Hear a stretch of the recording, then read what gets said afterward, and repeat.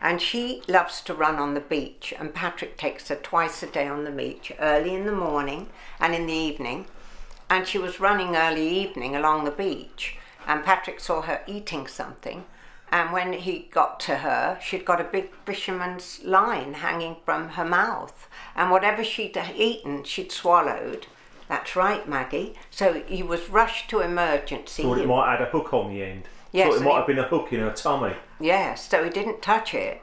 So he was rushed to emergency where they gave her an x ray. And what else did they do? Uh, they gave her an X-ray and they saw that they there was no hook On the line. on the line. So then they were able to give her a um, an injection, which made her throw up. And then And she brought everything and up she brought there. everything up. Then yeah, the whole line. the whole line it all came up Yes. thankfully, and then she was all right. So it was a bit worrying. It's Yes. just one of those things. I mean, you can just you know just take your eye take your eye off them, and then suddenly and then because she knows I don't like her eating stuff on the beach, so of course if I see her with something in her mouth. I run over to her to get it off, and then she swallows the Yeah, she the swallows pig. it She quick. swallows it quickly. So you can't. Cheeky go- little bleeder. Yeah, she, she, she's looking the other way. Yeah. She doesn't wish to know about this particular thing, Maggie.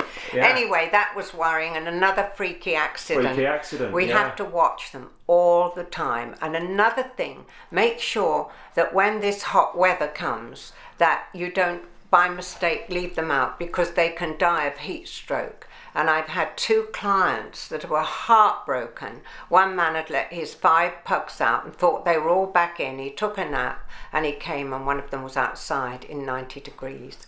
And the, the dog died and it was heartbreaking. So we always have to be pretty aware of what our dogs are doing. Just keep your eye on them.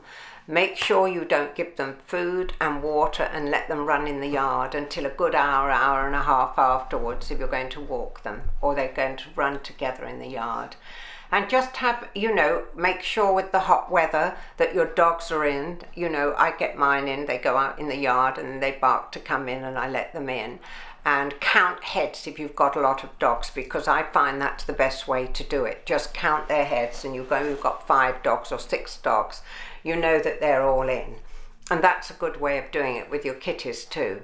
Anyway, and then the beach, we didn't expect that to happen. So things like that can always happen. And then I had another tragedy last week with one of my clients. And she was heartbroken and she was sobbing so much that she couldn't talk. And she had had her little cat outside and it just stayed in the front yard. And her husband came home and she was so excited, she said, because he was home and she they'd had just got some chickens and they'd just laid eggs and she was so excited they were the first fresh eggs they'd had. And then she heard a meowing and she thought i don't recognize that meow what's meowing? And she didn't take a lot of notice. And then she went into the garage 20 minutes later and her cat was dead. And her husband didn't realize it but he'd run over the cat and it, the cat had died and it was the meowing that she didn't recognize because it was a different meowing. And she was heartbroken and blamed herself. So you know these accidents happen and we just have to be aware all the time of our animals behind the car under the car if they're around. It's always good to check because once th- an accident like that happens we really never never get over it. Never. It's always with us so they need to be watched all the time. Not when you're sleeping, though. What do you say about that, Maggie? Not when you're sleeping, eh?